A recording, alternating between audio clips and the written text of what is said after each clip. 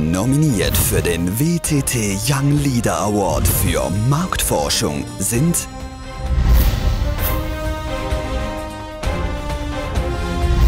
Projekt Solartechnologie, ein Zukunftsmarkt für die Plaston AG. Wir haben für die Firma Plaston AG eine Marktforschung im Bereich äh, Photovoltaikanlagen durchgeführt, das in Deutschland, der Schweiz und in Frankreich. Mit Stefan Zehnder, Projektleiter. Fabian Frank. Rolf Lichtensteiger. David Studer. Coach Markus Wittner. Kundschaft Frank Ulsamer von der Plaston AG. Die Plaston AG im St. Galler Rheintal produziert traditionellerweise Kunststoffkoffer, Luftbefeuchtungs- und Luftreinigungssysteme. Das Unternehmen hat Standorte in Tschechien, den USA und China und beschäftigt rund 350 Mitarbeitende. Vor 20 Jahren entwickelte die Plaston in einem Forschungsprojekt den NewTech Solardachziegel, brach aber vor 10 Jahren die Markteinführung ab. Plaston will vom FAS Praxisprojektteam wissen, ob und in welchen Märkten mit diesem Solardachziegel heute erfolgreich Business gemacht werden kann. Projekt Key Performance Indicators for Security Departments of Global Major Banks, a network of security departments of global major banks in London. Dieses Projekt hat das Ziel verfolgt, ein Management-Cockpit entwickeln für die Sicherheitschefs von den 26 grössten weltweit tätigen Banken. Wir haben das Management-Cockpit mit äh, Schlüsselkennzahlen gefüllt so dass sich die Sicherheitschefs gegenüber seinen eigenen Zielen messen sowohl wie auch gegenüber den Zahlen, die sie von ihren Partnern innerhalb des Netzwerks überkommen. Mit Daniel Ritter, Projektleiter. John Chatier. Jacqueline Grämiger. James Hilton. Dominik Löhliger. Jana Matschikova. Coach Professor Dr. Wilfried Lux. Professor Michael Mosel. Kundschaft Rolf Blocher als Client Project Representative. Hinter A Network of Security Departments of Global Major Banks steht die Vereinigung der Sicherheitschefs der weltweit 26 größten Banken Bank of England, Citigroup, Credit Suisse, Deutsche Bank, Goldman Sachs, JP Morgan, Royal Bank of Scotland, UBS und so weiter.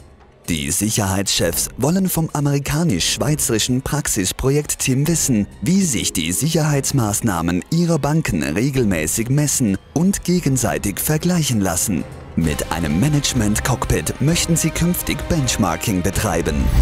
Projekt Förderung der psychiatrischen und sozialen Netzwerk- und Koordinationsarbeit durch ein Psychiatriezentrum im Rheintal. Formen, Voraussetzungen und Maßnahmen.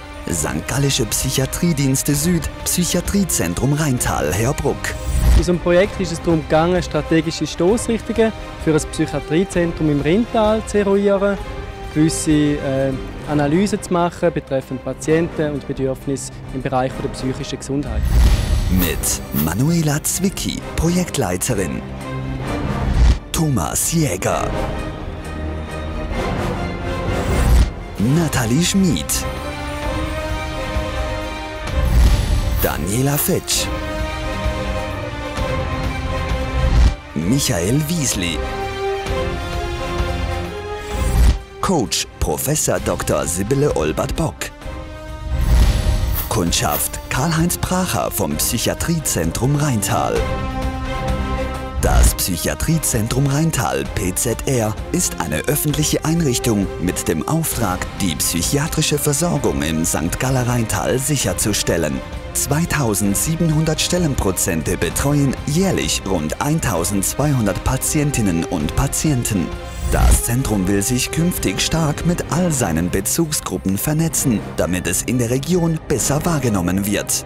Doch wer sind die relevanten Bezugsgruppen? Was haben sie für Bedürfnisse und Erwartungen? Wie sehen Kooperationsmodelle aus? All dies will das PZR vom Praxisprojektteam wissen.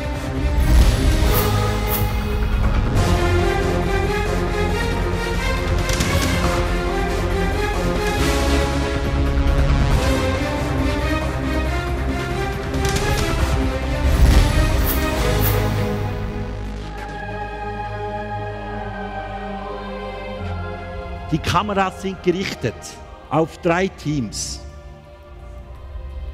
Mein Blick geht auf dieses Blatt und hier steht, hier steht, der Winner WTT Young Leader Awards 2011 in Marktforschung ist Team Blaston.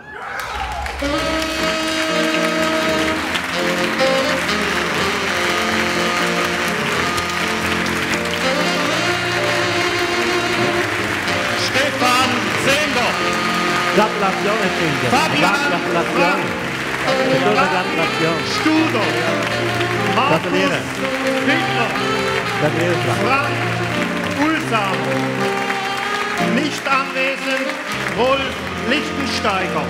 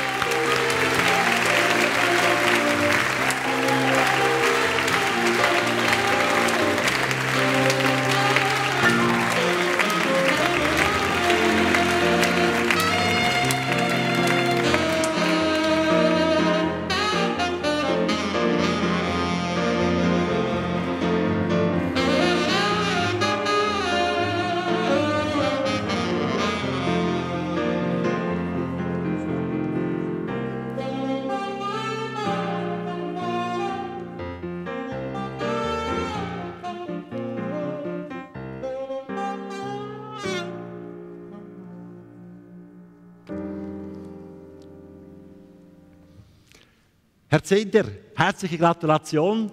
Danke vielmals. Sie sind WTT Young Leader Awards Gewinner in Marktforschung. Ja, wie fühlt man sich da? Es ist natürlich eine riesige Freude. Wir haben es ja gesehen vor im Video, was das Kriterien sind, für die Praxisprojekte ausgezeichnet worden sind. Das sind sehr hochstehende Kriterien. Und dann hat es da eine Jury, die sehr fachkompetent ist und uns da gewählt hat. Das ist unglaublich. Also wir freuen uns riesig. Ja, Frank Ulsamer, Sie sind der Auftraggeber mit der Plaston AG. Was hat das Team für einen Auftrag bekommen und was war auch die Ausgangslage? Ja, also ich möchte zunächst mal an die Worten vom Herrn Wörwag anknüpfen. Das waren Let's Goes und keine Gangos. Kompliment für die Leistung und das, was ihr heute hier repräsentiert, das ist es wert. Unsere Aufgabestellung, unser Auftrag an das Projektteam war, ähm, für uns die Marktstrukturen im äh, Indach-Photovoltaik-Markt äh, zu analysieren. Und konkret hat uns interessiert, welche Erfolgschancen das Produkt Solardachziegel beim Product Relaunch besitzt. Jetzt, Herr Zender, erzählen Sie in dem Publikum da, 500 Leute in diesem Saal und mehr, was sind die drei wichtigsten Ergebnisse, die Sie haben können für Plaston AG abliefern Das erkläre ich Ihnen gern. In unserem Projekt Solartechnologie, ein Zukunftsmarkt für Plaston AG, ist es darum gegangen, dass wir ja, Da kommt sicher gerade das PowerPoint auf der rechten Seite, so ist es. Genau, Sie sehen da das Produkt nochmal bildlich, den Indach Solarziegel. Und es ist darum gegangen, dass wir für das Produkt Marktchancen evaluiert haben. Das hat drei Hauptteile gehabt. Einerseits ist es darum gegangen, in der Sekundärforschung verschiedene europäische Märkte zu analysieren. Und schlussendlich haben wir mittels einer grossen Nutzwertanalyse zuhanden der Kundschaft Deutschland, die Schweiz und Frankreich als die erfolgversprechendsten Märkte herausgefunden. In diesen drei Märkten haben wir schlussendlich in der Primärforschung eine Umfrage bei über 1200 Solateur- und Großhändlern durchgeführt und haben so Markt- und Preisstrukturen ermittelt. Am Schluss haben wir aus diesen Daten Handlungsempfehlungen und auch Handlungsalternativen abgeleitet.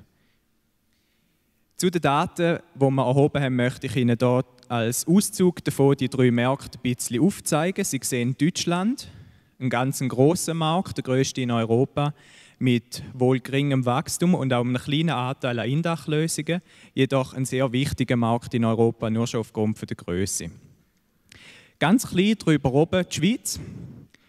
Höheres Wachstum, auch eine höhere Bedeutung von Indachanlagen, aber wie man sieht, ein ganz, ganz kleiner Markt. Da hätte Herr Beglinger vielleicht auch ein bisschen äh, unser Ergebnis können Vielleicht hat man es ein bisschen verschlafen. Aber in der Schweiz ist es auch nicht nur eine Frage vom Wollen, sondern viel auch vom Können im Bereich von Solaranlagen. Ganz oben im Ecken haben wir schlussendlich noch Frankreich, einen stark wachsenden Markt und Indachanlagen haben hier wegen, wegen der hohen Rentabilität auch eine grosse Bedeutung. So verwundert es auch kaum, dass man Frankreich, die grünen Balken, relativ groß haben, Nachfrage von Indach-Solaranlagen gegen Aufdach, in den anderen Märkten natürlich weniger. Die Grafik haben Sie bereits im Video schon gesehen. Wir haben die kompletten Marktstrukturen und Preisstrukturen ermittelt. Als Auszug davon möchte ich Ihnen die Preisstrukturen ein bisschen genauer aufzeigen. Man sieht hier, dass das Preisniveau in der Schweiz erwartungsgemäß am höchsten ist. Folgen tut Frankreich. In beiden Märkten muss man um die 5000 Euro rechnen für eine Kilowatt, Kilowattstunde äh, Photovoltaikanlage fertig montiert. Deutschland ist wegen der geringeren Nachfrage und wegen dem sehr großen Markt, wo schlicht tiefere Preise ermöglichen tut, viel günstiger wie Schweiz und Frankreich.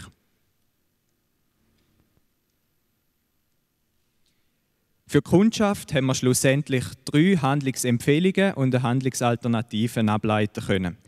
Einerseits haben wir gesehen, wie Preisstrukturen sind und haben der Kundschaft darum erklären können, dass sie ihre Preisstrukturen anpassen und überdenken müssen.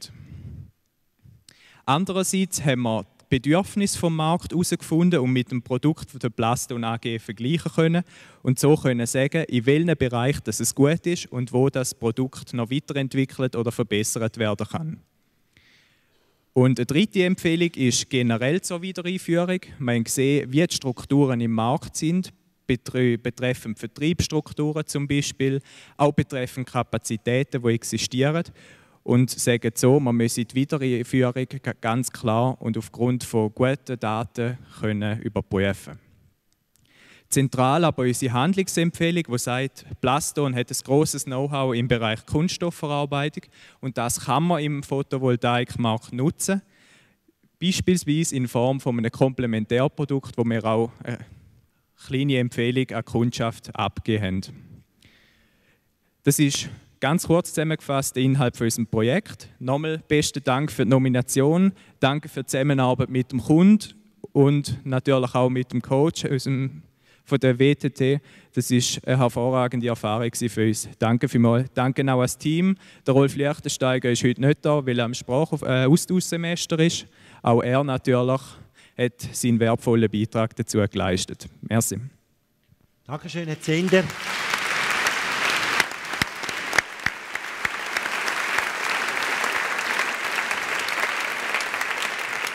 Markus Wittner angesprochen, Projektcoach. Wir von der FH St. Gallen haben den Anspruch, dass die Arbeiten wissenschaftlich auch fundiert sind. Was ist jetzt da die wissenschaftliche Leistung und der Wert hinter dieser Arbeit? Also der Wert fing schon ganz zu Anfang an. Also das Team hat schon vorab quasi als Prolog zum eigenen Projekt in der Auswahl der Zielmärkte schon fast ein Praxisprojekt für sich abgewickelt, nur in der Definition dieser drei Zielmärkte. Im im Hauptteil, wenn Sie so wollen, dann haben sie geglänzt durch ein Höchstmaß an Eigeninitiative, Motivation und Engagement. Und aus, diesen, aus, diesen, aus diesem Strauß von Eigenschaften sind dann höchst fundierte Analysen entstanden, aus denen substanziell abgeleitet ganz konkrete Empfehlungen für die Plastern entstanden sind. Und Die, von hinten bis vorne hatten die Hand und Fuß, sie waren nachvollziehbar, sie waren realisierbar, sie waren realistisch. Und ich glaube nicht zuletzt auch dadurch, dass sie dann zum, Final, zum Finale des Projektes auch den Mut hatten, diese spezielle Empfehlungen vor der gesamten Geschäftsleitung zu präsentieren und auch ihre Meinung zu vertreten, haben dort durchaus einen Mehrwert geschaffen, auch für die Plastern. Dankeschön. Da kommt natürlich jetzt gerade die Frage an Sie, Frank Hursamer. Ja, was möchtet ihr jetzt mit dieser Situation? Steigt ihr als Cleantech-Unternehmen aus? Was möchtet ihr aufgrund dieser Situation die jetzt angetroffen haben? Äh, zunächst mal möchte ich noch sagen, also die Studenten haben uns innerhalb kürzester Zeit eine sehr umfassende Nutzwertanalyse von den äh, zu untersuchenden Märkten äh, uns geliefert. Und äh, das hat bei uns dann auch sehr gute, sehr wertvolle Diskussionen ausgelöst im Unternehmen. Äh, wir wissen jetzt auch um unsere Stärken und Erfolgschancen in diesen Märkten. Ja. Wir haben ein paar Fragezeichen an die Wand projiziert äh, gesehen und wir arbeiten jetzt mit diesen Fragezeichen und wir werden die empfohlenen Maßnahmen umsetzen. Felix Bartmann, Sie sind da als Abgeordneter der Jury da. Sie vertreten natürlich den Edgar Röhler. Wieso hat die Jury das Projekt Plaston AG, das Team, als Gewinner vom Meta Young Leader Awards in Marktforschung bestimmt? Also ich auch müssen lesen, nachlesen, weil ich nicht selber dabei war. Und beim Nachlesen habe ich zwei Kommentare, oder sind mir zwei Kommentare aufgefallen. Das war einerseits die große Arbeit, das ist vorhin erwähnt worden, die haben fast zwei Arbeiten in einer gemacht. Also ein riesen Aufwand. Und das Zweite ist sicher das Ergebnis, das man auch in der Praxis kann umsetzen oder mindestens eine Schlussfolgerung daraus kann ziehen kann, die klar und, und so weit auch anwendbar ist. Wenn man dann ins Einzelne geht und vom Ergebnis redet, dann nachher, wie ich schon vorhin gesagt habe, die haben, und es ist auch erwähnt worden vom Erzähler, die haben die Schlussfolgerungen akribisch zusammengetragen, jedes Einzel praktisch gewürdigt und diskutiert und dann eine Empfehlung an die Plaston AG gegeben. Die wiederum, glaube ich, kann mit dem etwas anfangen. Also es ist in der Praxis relevant, obwohl es vielleicht nicht so angenehm war. Es wäre einfacher gewesen, man hat gesagt, man kann den, den Solardachziegel brauchen und muss ihn nur wieder vermarkten. Das ist nicht die Schlussfolgerung. Das dritte vom Vorgehen her ist es eben der riesige Aufwand mit den, mit den Sekundärforschung, die sie betrieben haben, Sekundärmarktforschung. Und schließlich vom Schwierigkeitsgrad her ist es die, sind es die drei Länder, die man untersucht hat, also Schweiz, Deutschland und Frankreich. Und wenn ich das so anschaue, dann müsste ich eigentlich mal sagen, wir sollten eigentlich von der AFG aus mal mit den Plaston reden. Gerade wenn ich so Deutschland sehe, wo der grösste Polen ist, zwar preislich nicht der beste, die Kunden haben wir. Die, die und vielleicht könnten wir da noch etwas machen. He? Wir kommen auf das Angebot gerne zurück. Vielen Gut. Dank. Meine Damen und Herren, Sie sehen, herzlichen Dank. Preissponsor AFG, Arbonia Forster Holding AG, Felix Bottmer, herzlichen Dank für das Preissponsoring. Ich gratuliere ganz herzlich dem Team Plaston für den Gewinn des WTT Young Leader Awards in Marktforschung. Das war das Team Plaston.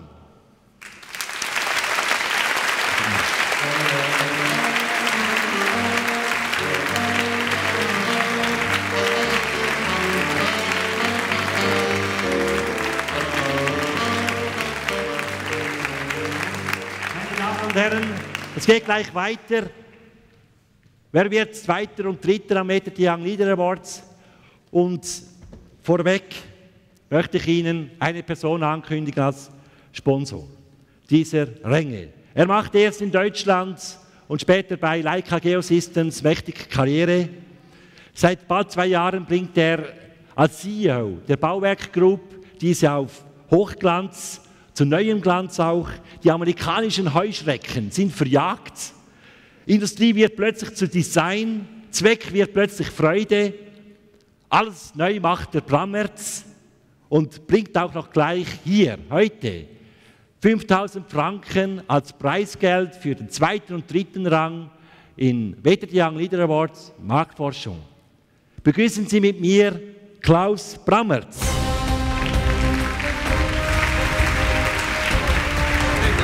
Hi Klaus. Klaus, äh, Baueck Group, die produziert, wie ich von dir schon immer wieder höre, jedes Jahr äh, Parkett im Umfang der Autobahn von St. Margarete, wo euer Werk daheim ist, bis auf Mailand und zurück. Ja, richtig. Und die Hälfte von dem Bargett, den verkauft ihr im EU-Raum. Korrekt. Und jetzt, was möchtet ihr, wenn der Schweizer Franken so hart ist? Tja, Feiten. Was, Feiten. bedeutet, was muss man sich da vorstellen? Was muss man sich da vorstellen? Zunächst einmal muss man sich darunter vorstellen, dass man in solchen Zeiten extrem gut gerüstet sein muss. In dieser Zeit ist es besonders wichtig und wertvoll, die Gesamtleistung zu leben, von A bis Z, sie zu betonen und diese Mehrwerte letztendlich bei jeder Diskussion überzubringen. Ohne das geht es nicht. Auf der anderen Seite ist es aber relevant natürlich in so einer Phase, die Kosten unter Kontrolle zu haben und das Unternehmen sehr, sehr effizient steuern, damit man auch nachhaltig erfolgreich sein kann. Wir wachsen im Moment in Deutschland 34 Prozent gegenüber Vorjahr. Insofern machen wir nicht alles verkehrt. Das ist ja wahnsinnig, das ist ja, ja. wahnsinnig. Aber ja, Applaus. Das ist nämlich richtig, man muss auch über die guten Sachen reden, über das andere wird ja genug auch. Äh, jetzt ist es so, dass wir ja vor einem Jahr hier an gleicher Stelle ein Praxisprojektteam ausgezeichnet haben, das zweite Rang, wo Bauwerk Group der Auftraggeber war. Wir wissen, Bauwerk Group mit einer neuen Marketingstrategie am Werk, welchen Einfluss hat jetzt das Team hier gehabt? Ein großer. Ein großer. Also, ich habe es ja vor einem Jahr schon gesagt, wir werden das alles umsetzen. Genau, und jetzt, wie sieht es aus? Es ist umgesetzt. Es ist umgesetzt. Also wir können sagen, ich äh, habe die große Freude gehabt, am letzten Freitag unser neues Parkettzentrum einzuweihen. Ein ganz großer Erfolg. Äh, in diesem Parkettzentrum kann man die neue Bauwerk erleben. Und alle Ergebnisse, die wir erarbeitet haben, die die Studenten vor einem Jahr erarbeitet haben, sind in das neue Erscheinungsbild, in das neue Markenbild, in unser Selbstverständnis eingeflossen. Insofern tolle Sache, 100% verwertbar. Super. Ja. Okay, nun wollen wir miteinander kennenlernen, werden wir Zweiter am Wetter Young Leader Awards in Marktforschung. WTT Young Leader Awards in Marktforschung, Rang 2.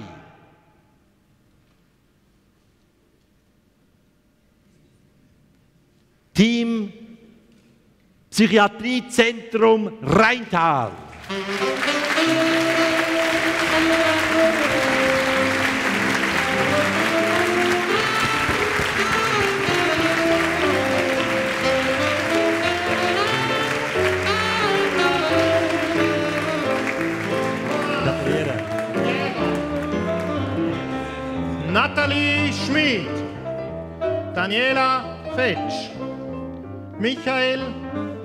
Wiesling.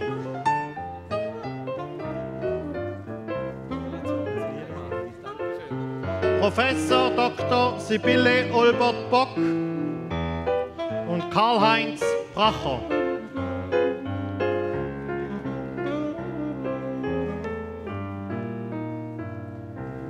Gleich geht's weiter.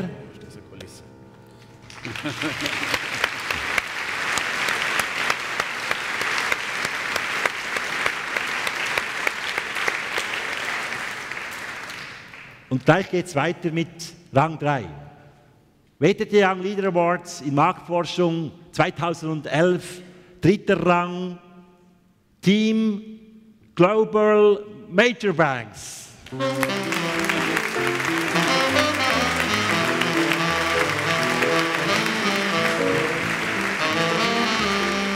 Daniel Ritter. Jacqueline Remiger.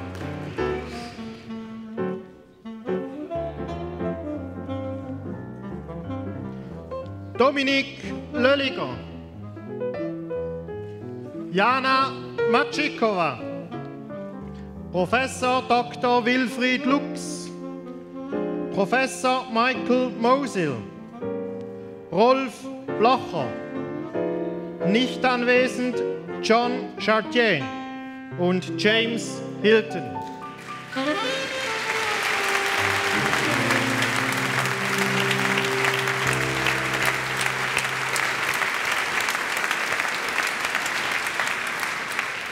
Klaus Brammertz, ganz herzlichen Dank der Bauwerk Group für das Sponsoring. Zweiter, dritter Rang, Wetter Young Leader Award, Marktforschung.